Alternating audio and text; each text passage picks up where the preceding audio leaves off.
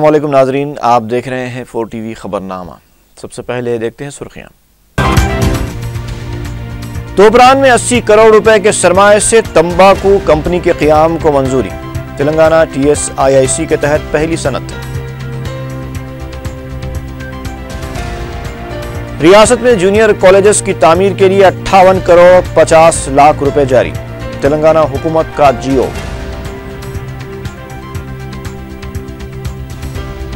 Police के दबाव के बावजूद अकबर ओवैसी का दौरा मुंबई कामयाबी के साथ जारी। ग्रुप मीटिंग से खिताब और इलाकाई दफातर का अफ्ताह और अजमेर शरीफ में तेलंगाना गेस्ट हाउस की तामीर के लिए अराजी फराहम करने। राजस्थान हुकूमत का तयन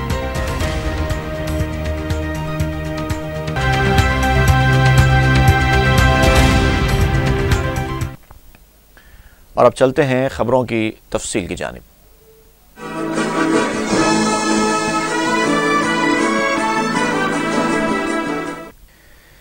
तेलंगाना टीएसआईआईसी के तहत पहली सनत को मंजूरी दी गई है। वज़ीर सनत जे कृष्णा राव ने टीएसआईआईसी पर जायजा इजलास के बाद बताया कि तोपरान में 80 करोड़ रुपए के सरमाए से तंबाकू कंपनी के क़्याम को मंजूरी दी गई है। इस सनत से 600 अफराद को मुलाजमत हासिल होगी। दस अजला में पाँच हज़ार दो सौ अस्सी यूनिट के लिए पाँच हज़ार दो सौ उन्यासी करोड़ रुपए की सरमाकारी की जाएगी। वज़ीर सनत ने बताया कि सनती शोबे को शफाफ बनाने के लिए पंद्रह और तीस दिन के अंदर सनतों के क़्याम को मंजूरी दी जाएगी। उन्होंने बताया कि टोल फ्री नंबर भी कायम किया जाएगा। मौजूदा सनत और कई सनतों को शिनाख्ती नंबर भी फराहम किए जाएँगे। ప్రతి ఇండస్ట్రీ కూడా. అంటే ఈవెన్ ఎగ్జిస్టింగ్ ఓల్డ్ ఇండస్ట్రీ కూడా. ఓల్డ్ ఇండస్ట్రీ కూడా ఒక ఐడి నెంబర్ ఇచ్చి. టోటల్గా రాష్ట్రంలో మైక్రో అయినా స్మాల్ అయినా మీడియం అయినా మెగా అయినా సిక్ అయినా కూడా. అన్నింటికి కూడా ఒక కోడ్ నెంబర్ ఇచ్చి ఒక ఐడి నెంబర్ ఇచ్చి వాళ్ళు ఆ ఐడి నెంబర్ మెన్షన్ చేసి మీ సేవలైనా ఆన్లైన్ మా ఇండస్ట్రీ డిపార్ట్మెంట్ వెబ్సైట్లో కానీ వాళ్ళకున్న ప్రాబ్లమ్ను ఇన్ఫామ్ చేస్తే వాడు అప్లై చేస్తే వాటిని క్లోజ్గా మానిటర్ చేసి డిస్ట్రిక్ట్ లెవెల్లో and also state headquarter monitor చేసి వాళ్ళ ఇష్యూస్ను సార్ట్అవుట్ చేసే విధంగా ఏర్పాటు చేస్తాము ఎవరికి ఎక్కడ ఇబ్బంది కలిగినా టోటల్గా ఇండస్ట్రీస్ డిపార్ట్మెంట్ సంబంధించి ఒక టోల్ ఫ్రీ నెంబర్ను ఇచ్చేటువంటి ఏర్పాటు చేస్తాము तेलंगाना हुकूमत ने रियासत में सरकारी जूनियर कॉलेजेस की तामीर के लिए अट्ठावन करोड़ पचास लाख रुपए जारी करते हुए अहकाम जारी किए तेलंगाना अजला में जूनियर कॉलेजेस की इमारतों की तमीर नबार्ड के ताउन से की जा रही है। रियासत में जुमला 26 जूनियर कॉलेजेस की इमारतें तामीर की जा रही हैं। आदिलाबाद और महबूब नगर में छः वरंगल में तीन करीम नगर में चार, मेदक में तीन, खम्मम और निज़ामाबाद में एक एक इमारत तामीर की जाएगी। हुकूमत की तरफ़ से मज़ीद कॉलेजेस के क़्याम के लिए फ़ंड्स भी जारी किए जाएँगे। अजीम तर बलदिया हैदराबाद के सर्कल सात के इंचार्ज ने अहदेदारों के साथ इजलास मुनद करते हुए टैक्स वसूली पर तबादले ख्याल किया। इंचार्ज वंदन कुमार ने बताया कि कॉरपोरेशन टैक्स पर डाले जाने वाले महासिल को माफ़ करने का फैसला किया गया है। आवाम के लिए ये अच्छा मौका है कि वो आगे आकर टैक्स अदा करें। उन्होंने बताया कि सर्कल सात में टैक्स वसूली के लिए तेईस कमेटियाँ काम कर रही हैं। टैक्स वसूली से मुतल आवाम में शूर बेदारी मुहिम भी चलाई जाएगी। तेलंगाना रियासत के मालियाती साल 2015-16 के बजट की तैयारियों का 10 फरवरी को आगाज़ होगा। वज़ीर फाइनेंस ई राजेंद्र सुबह साढ़े दस बजे मुख्तलिफ़ महकूमजात के साथ मुजवज़ा बजट का जायज़ा लेंगे। पहले दिन महकूम ज़रात के अहदेदारों से तबादला ख्याल किया जाएगा। ग्यारह फरवरी को महकूम तालीम, महकूम दाखिला और फाइनेंस, बारह फरवरी को महकूम माल कमर्शल टैक्स, तेरह फरवरी को आबपाशी हाउसिंग चौदह फरवरी को महकूम सेहत, सनत, इमारत शवारे और सोलह फरवरी को अकलीती बहबूद, बलदी, नज़म नसख और दीगर महकूमजात के बजट का जायज़ा लिया जाएगा। कायद मजलिस अकबरुद्दीन ओवैसी ने अपने मसरूफ़ तरीन दौरे मुंबई के तीसरे दिन भी कई ग्रुप मीटिंग्स से खिताब किया और मजलिस के मेगा मेडिकल कैंप्स का अफ्ताह अंजाम दिया। इसके अलावा उन्होंने दो इलाकाई दफातर का भी अफ्ताह किया। मुंबई में मजलिस इतिहादुल मुस्लिमीन के मुख्तलिफ़ प्रोग्रामों का सिलसिला जारी है। सदर मजलिस बैरिस्टर असद ओवैसी की हिदायत पर कायद मजलिस अकबरुद्दीन ओवैसी, रुकन असम्बली अहमद बलाला, सबक अरकान बल्दिया व सरगर्म मजलिसी कारकुनान ओवैसी दवाखाने के माहिर डॉक्टर्स की टीम के साथ खसूसी दौरे पर हैं।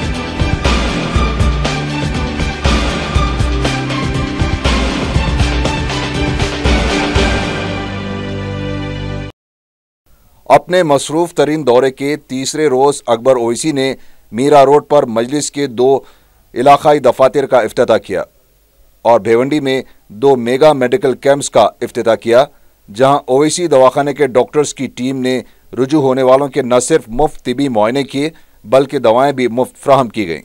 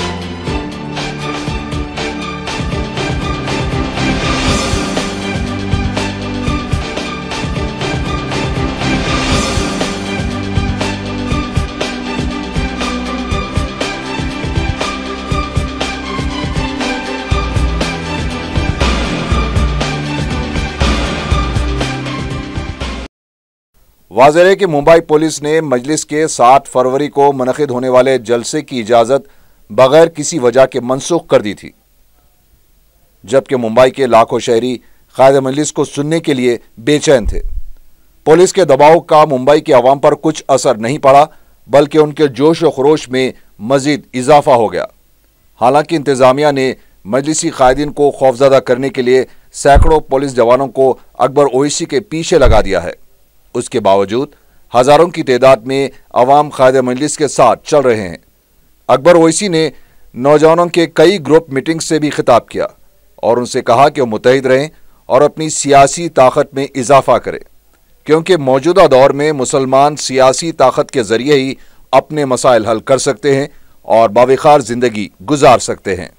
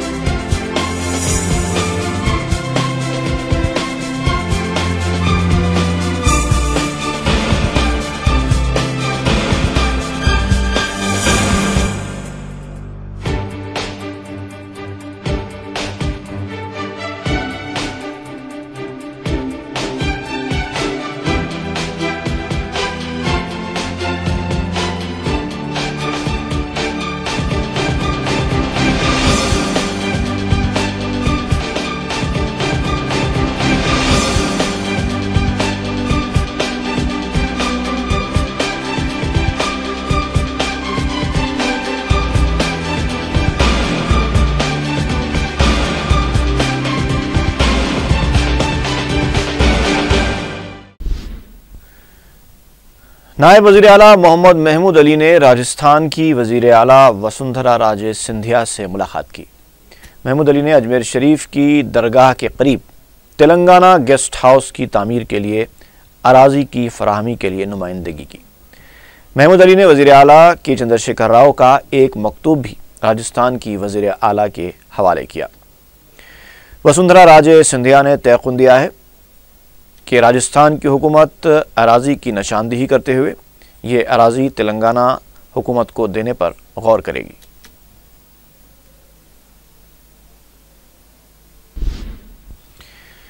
वज़ीर अला के चंद्रशेखर राव चौथे दिन भी दिल्ली में मसरूफ रहे। के सी आर ने मरकजी वज़ीर बीरेंद्र सिंह के साथ मुलाकात करते हुए जमानत रोज़गार स्कीम और वाटर ग्रिड के मसाइल पर तबादला ख्याल किया। वज़ीर अला ने वाटर ग्रिड प्रोजेक्ट के लिए भी मरकजी हुकूमत से ताउन की अपील की। वज़ीर अला ने रियासत तेलंगाना के पसमानदा इलाकों के लिए भी मरकजी हुकूमत को फंड्स की इजराई पर तवज्जो दिलाई। बाद में के सी आर ने मरकजी वज़ीर वेंकैया नायडू से भी मुलाकात की। मरकजी वज़ीर बीरेंद्र सिंह ने तेलंगाना हुकूमत की वाटर ग्रिड स्कीम के लिए आलमी बैंक से फंड्स के हसूल के लिए कोशिशें करने का तयन दिया। उन्होंने कहा कि मरकज़ के मुजवज़ा बजट में तेलंगाना के लिए मौसर फंड्स मुख्त किए जाने की कोशिश की जाएगी।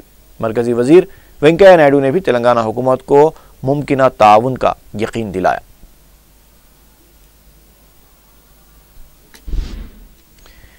कांग्रेस के रुकन कौंसल मोहम्मद अली शब्बीर ने कहा है कि के सी आर को वज़ीर अला और टी नागेश्वर राव को जो अहदे हासिल हुए हैं, वो कांग्रेस की भीख है।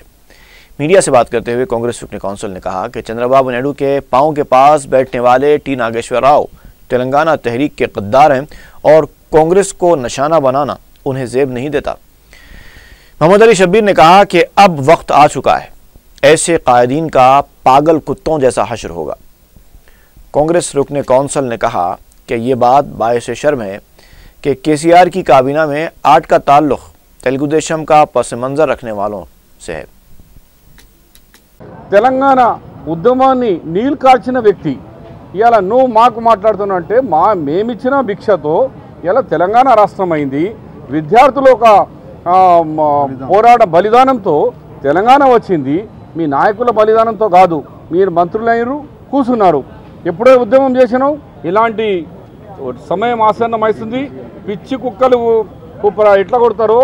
అట్లా మీకు కూడా స- అదే గతి పడుతుంది బిడ్డ నాలుగు దినాలు ఆగండి కొద్ది దినాలు ప్రజలు చూస్తున్నారు యువకులు చూస్తున్నారు आंध्र प्रदेश कांग्रेस कमेटी के लीडर सी रामचंद्रैया ने कहा है कि आंध्र प्रदेश तंजीम जदीद बिल में बीजेपी का कोई रोल नहीं था मीडिया से बात करते हुए रामचंद्रैया ने कहा कि बिल को यूपीए हुकूमत ने तैयार किया और बीजेपी की तरफ से उसे कबूल करने के बाद मंजूरी दी गई थी रामचंद्रैया ने आंध्र प्रदेश को खसूसी रियासत का दर्जा देने के मामले पर वेंकैया नायडू के मौक़ को शदीद तनकीद का निशाना बनाया। उन्होंने कहा कि मरकज़ रियासत की ख़राब हालत का जवाब पेश कर रही है, जो कि बिल्कुल बेबुनियाद है। उन्होंने कहा कि चंद्रबाबू नायडू भी मरकज़ से जो नुमाइंदगी कर रहे हैं, वो भी कांग्रेस की मेहरबानी है। तेलुगुदेशम के रुकन असम्बली ई दयाकर राव ने कहा है कि सेक्रेटेरिएट की मुंतकली के ज़रिए रियल इस्टेट ताजरों को फ़ायदा पहुँचाने की कोशिश की जा रही है। मीडिया से बात करते हुए ई दयाकर राव ने कहा कि सेक्रेटेरिएट की मुंतकली के फैसले के खिलाफ तेलुगुदेशम अदालत से रुजू होने पर गौर कर रही है। उन्होंने सवाल किया कि तेलंगाना की मुखालफत करने वाले कोंडा सुरेखा और के मुरली को क्यों टीआरएस में शामिल किया गया? ई दयाकर राव ने कहा कि तेलुगुदेशम पार्टी सेक्रेटेरिएट की मुंतकली की शिद्दत से मुखालफत करेगी और उसके खिलाफ एहतजाज भी किया जाएगा। ई दयाकर राव ने सवाल किया कि पोचारम श्रीनिवास और हरीश राव पर लगाए जा रहे इल्ज़ाम पर वज़ीर अला खामोश क्यों बैठे हैं? इससे पहले ई दयाकर राव ने दवाखाने में जेर इलाज तेलंगाना प्रदेश कांग्रेस कमेटी के सदर पोन्नला लक्ष्मैया की इयादत की। तेलंगाना कांग्रेसी कायदीन ने प्रदेश कांग्रेस कमेटी के सदर पोनल लक्ष्मैया पर हमले और तेलंगाना हुकूमत की तरफ़ से पदयात्रा की इजाज़त न दिए जाने के खिलाफ इंसानी हकूक़ कमीशन से शिकायत की। इंसानी हकूक़ कमीशन ने तेलंगाना कांग्रेस कायदीन की शिकायत पर डीजीपी और चीफ सेक्रेटरी को 22 फरवरी तक जवाब दाखिल करने की हिदायत दी है।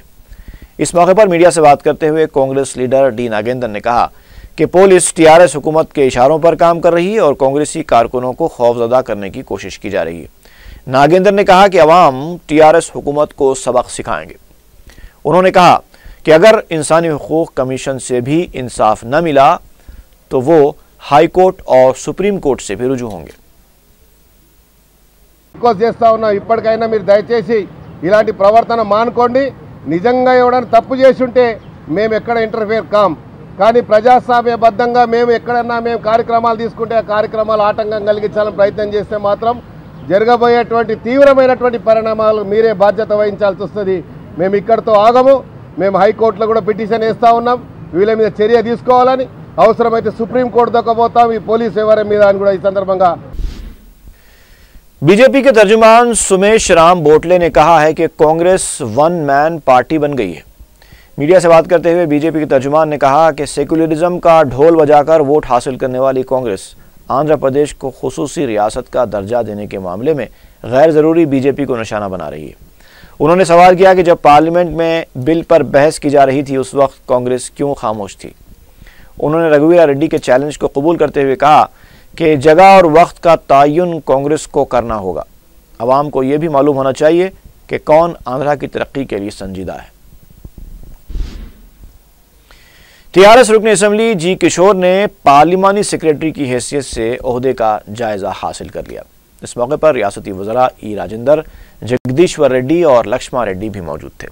बाद में मीडिया से बात करते हुए किशोर ने वज़ीर अला के चंद्रशेखर राव से इजहार तशक्र किया। उन्होंने कहा कि आज वो इस मकाम पर सिर्फ़ वज़ीर अला के सी आर की वजह से हैं और उन पर जो भरोसा किया गया है, वो उसे पूरा करेंगे और सुनहरे तेलंगाना की तामीर में हिस्सा लेंगे।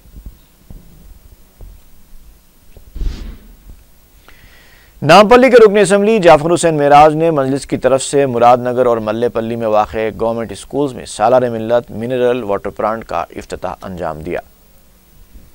बाद में मीडिया से बात करते हुए जाफ़र हुसैन मेराज ने बताया कि हुमायूं नगर और मुरादनगर में गवर्नमेंट स्कूल्स में तलबा की सहूलत के लिए मिनरल वाटर प्लांट्स कायम किए गए हैं। मकामी मजलिस की जानब से इन प्लांट्स की निगरानी की जाएगी। उन्होंने बताया कि नामपली में प्राइमरी स्कूल्स को अपर प्राइमरी स्कूल्स बनाया गया है। रुकन असम्बली ने कहा कि सदर मजलिस की नुमाइंदगी पर नामपल्ली हल्के में आवाम की सहूलत के लिए तमाम मुमकिन कोशिशें की जा रही हैं। वाजह है कि आवाम को साफ़ पीने के पानी की फ्राहमी के लिए शहर के मुख्तलिफ़ मकाम पर सालार मिलत मिनरल वाटर प्लांट्स कायम किए गए हैं। सिद्दीपेट टाउन में मजलिस की तालीमी इमदाद प्रोग्राम मुनद किया गया। दसवीं जमात के सत्तर से ज़ायद तलबा में सालार मिलत ऑल इन वन गाइड्स की तकसीम अमल में आई। सबक रुकन बलदिया और मजलिस के शोबे तंजीम के इंचार्ज अब्दुल्लख नज़ीर ने मेहमान खसूसी की हैसियत से शिरकत की। मजलिस के मकामी ज़िम्मेदार भी इस मौके पर मौजूद थे।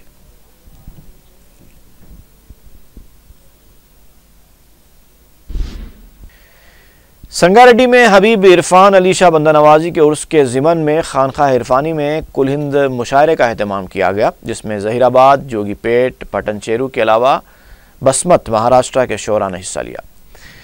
इमरान प्रतापगढ़ी ने अपने कलाम से शायकीन को लुफानंदोज किया। उन्होंने कायद मुकन्ना अकबरुद्दीन ओवैसी के लिए भी एक गज़ल सुनाई, जिससे नौजवानों में एक नया जोश पैदा हुआ।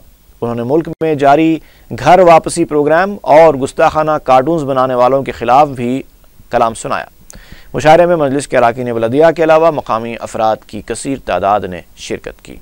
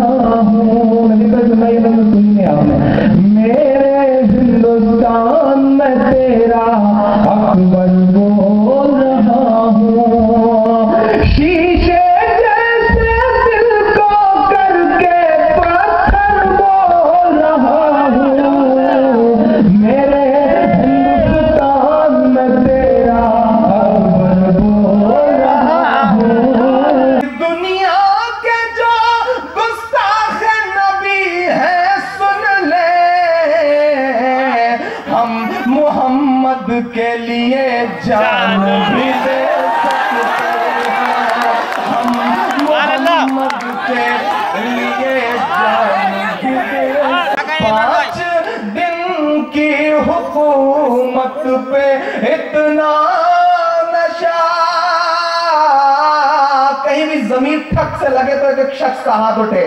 पाँच दिन की हुकूमत पे इतना नशा हम तो वो है जो सदियों से सुल्तान।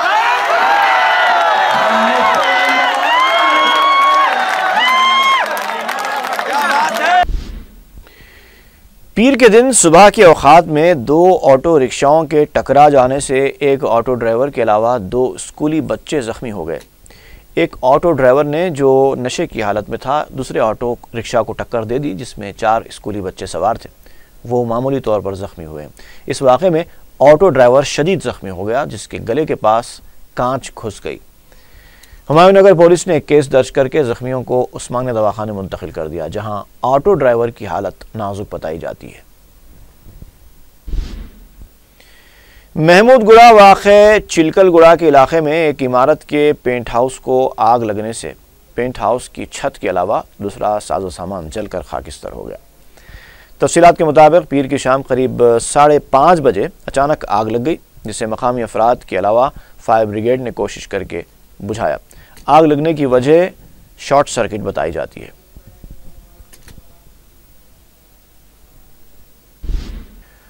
और खबरनामा ख़त्म करने से पहले एक बार फिर नज़र डालते हैं सुर्खियों पर। तोबरान में 80 करोड़ रुपए के सरमाए से तंबाकू कंपनी के क्याम को मंजूरी। तेलंगाना टीएसआईआईसी के तहत पहली सनत रियासत में जूनियर कॉलेजेस की तामीर के लिए अट्ठावन करोड़ पचास लाख रुपए जारी। तेलंगाना हुकूमत का जियो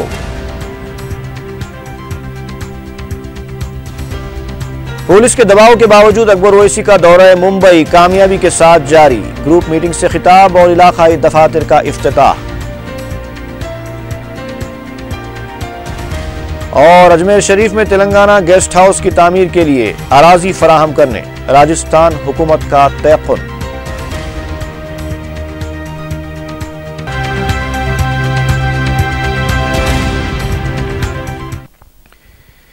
इसी के साथ ही खबरनामे की पेशकशी का सिलसिला यहीं पर अख्ताम को पहुँचता है।